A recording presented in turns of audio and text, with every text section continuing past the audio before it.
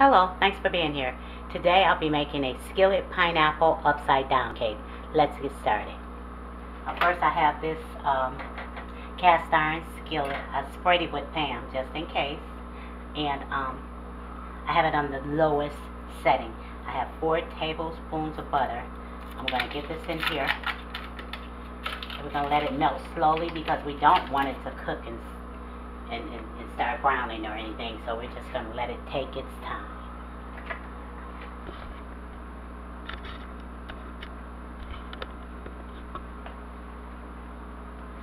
You could have also just put it in the microwave, I guess, and melted it and poured it in. But anyway, so now I have some brown sugar. I'm using like, oops, oops, moving too fast. I'm sorry. Give me a minute.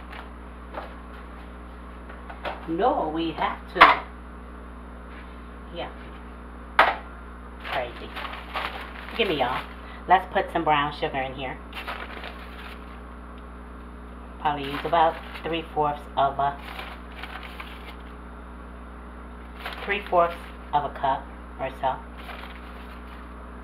You don't want to put too, too much. That should about do it there.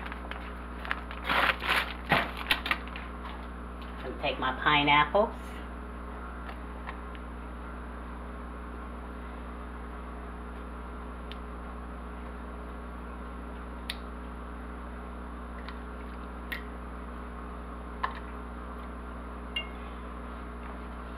Maraschino cherries.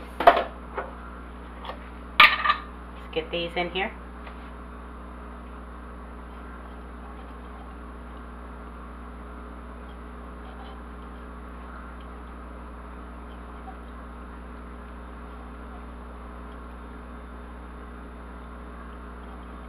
like that. And we're just going to set this aside for a minute while we get our batter together. Should have told you earlier, but um, after opening my pineapples, I took a fourth of a cup of the juices and set them aside. We're going to use them in a few. I have two eggs that I'm going to separate. Hopefully, let's see how this goes. Sometimes the shells are so super soft.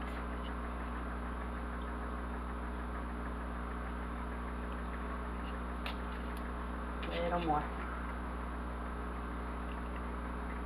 There we go.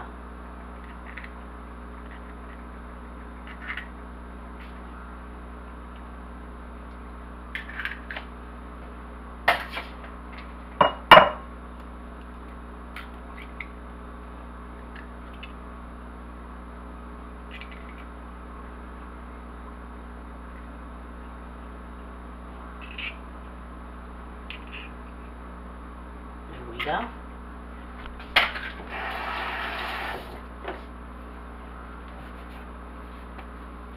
I'm going to just take these and beat these for a minute so they get thick.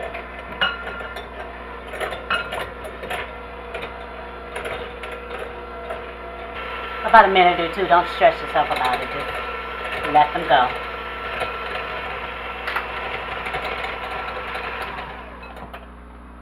See how this got gotten thick, kind of creamy. And if I didn't mention it, my oven is at 325. And so now I have uh, three-fourths of a cup of sugar. We're just going to add this in gradually, okay? Okay, here we go.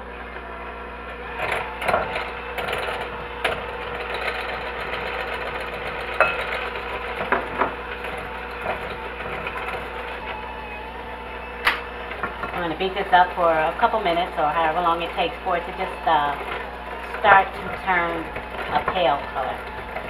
Not so bright yellow. See that?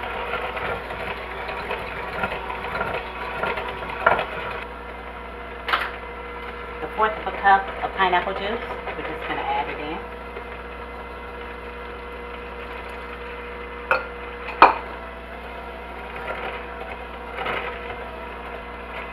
That until, it comes together.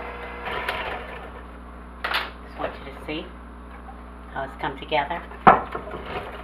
Now, here I have three-fourths of a cup of all-purpose flour, and to that I'm going to add a pinch of salt, just a pinch. I'm going to add um, a half a teaspoon of baking powder. So we can all have it all together already. And take that. Just mix it together. Don't worry about it. Don't go crazy. Just mix it together. It's all going in anyway. Before I do that, I have some vanilla extract. I'm going to add just about a half a half a, a, a cap full. This is a big cap, so get that in there. And I have some almond extract.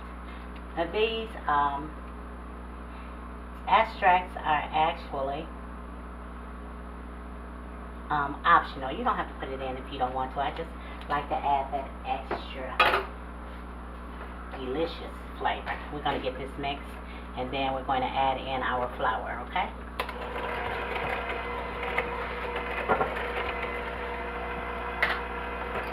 Just add it in a little at a time. Get it mixed together.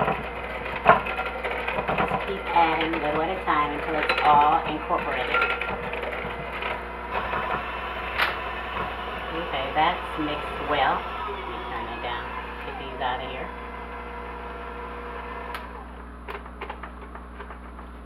I'm going to rinse these off. I'm going to set this side aside for a minute. I'm going to rinse these off. Ooh.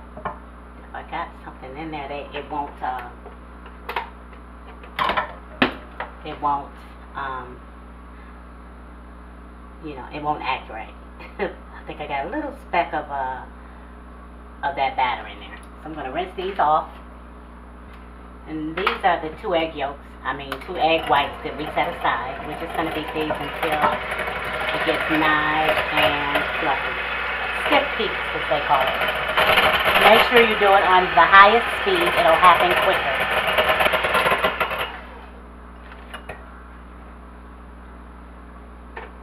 See the peaks?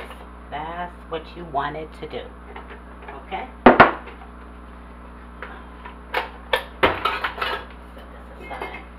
Messy over here. So we're going to bring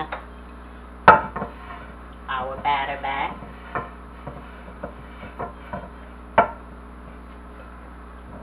Going to take this and put it in here.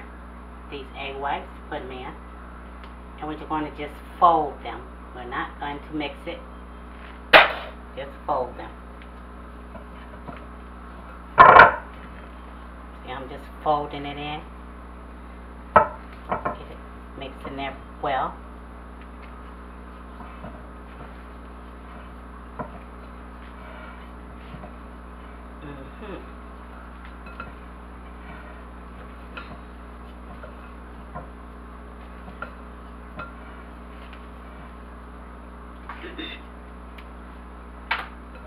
Now that it's all incorporated, it only took a couple of turns.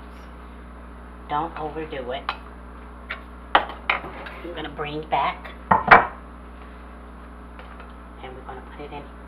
going to add some here, there, and we're going to spread it out.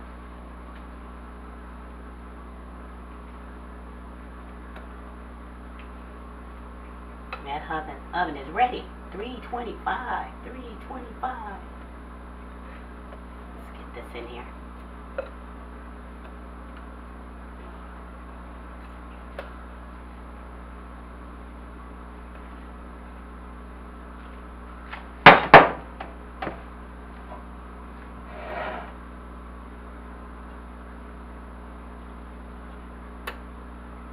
This is an 8 inch pan, by the way.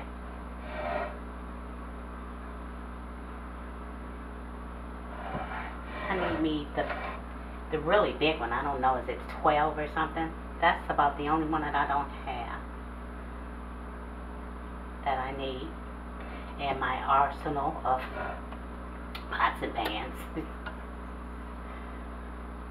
Let me see. We're going in. We're going to set our timer for, um, let's say 50 minutes. It's going to take about 45 or 50 minutes. You'll know though. How to test a cake. When you touch it and it bounces back, or you can use a toothpick to, when it goes in. I mean, when it comes out, if it comes out clean, it's ready. If it still has batter on it, it isn't. You can do the same thing with a knife. See you in 50. Set that timer. that was for 50 minutes. and I've checked it. And it comes out clean, so therefore it's ready. Um, I'm going to give it about five minutes and I'm going to try and flip it out and hope that it comes out perfect.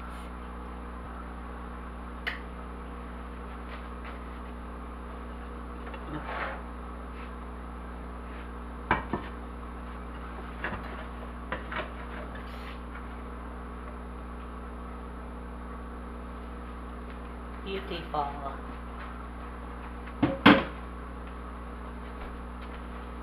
I wish I had a flat plate to it on, but here you go. I'm not going to cut it. But I know it's delicious. Hey, thanks for watching. And remember to pray. And then pray some more. Pray for her, him, you, them. Pray for us. Don't stop praying. Pray. And don't forget to give me a thumbs up. You can go ahead and do that right now. I'll wait. Thank you. Subscribe and tap that bell. Share with friends and family and comment. I would love to hear from you. And before you go, let me leave you with this. Psalms 106 and 1. Praise the Lord. Give thanks to the Lord, for he is good. His love endures forever. Hey, I love you. I really do. Later. Make you one. It's easy.